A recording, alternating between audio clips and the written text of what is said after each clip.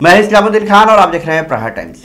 मुंबई के कांदेवली पश्चिम में एक बड़ा हादसा हो गया है। एकता नगर में सार्वजनिक शौचालय की सफ़ाई करने गए तीन सफ़ाई कर्मचारियों की सेफ्टी टैंक में गिरने की वजह से दम घुट गया और इन तीनों कर्मचारियों की मौत हो गई है। हादसे के बाद मुंबई अग्निशामन दल विभाग की टीम भी मौके पर पहुँची। सफ़ाई कर्मचारियों को शताब्दी अस्पताल में पहुँचाया गया, लेकिन डॉक्टरों ने उन्हें मृत घोषित कर दिया है। बताया जा रहा है कि ये सार्वजनिक शौचालय मलिन बस्तियों में स्थित है और बीते कुछ दिनों से लोग सेफ्टी टैंक से बदबू आने की शिकायत भी कर रहे थे। इसके बाद समुदाय आधारित संगठन के किसी व्यक्ति ने निरीक्षण करने के लिए एक एजेंसी को बुलाया। एजेंसी से तीन कर्मचारी निरीक्षण करने के लिए आए थे।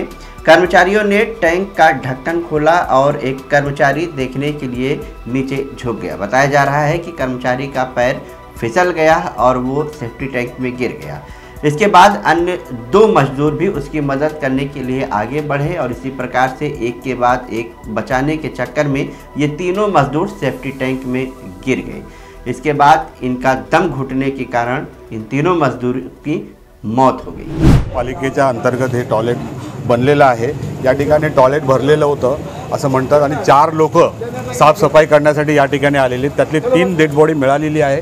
एक मिळालेली नाही आहे पहिली गोष्ट हे महानगरपालिकेने दत्तगोष्ठी अंतर्गत कोणाला तरी कॉन्ट्रॅक्ट दिलेला आहे. तो कॉन्ट्रॅक्टर कुठे आहे? आणि ती माणसं त्याचीच होती का? त्या कशा प्रकारे आलेले आहेत? याची चौकशी झालीच पाहिजे. आणि जे कोणी बाहेर मेलेत त्यांना न्यायही मिळाला पाहिजे. आणि यांच्यामध्ये जो कोणी दोषी आहे यांच्यावरती कायदेशीर कारवाई पण झाली पाहिजे.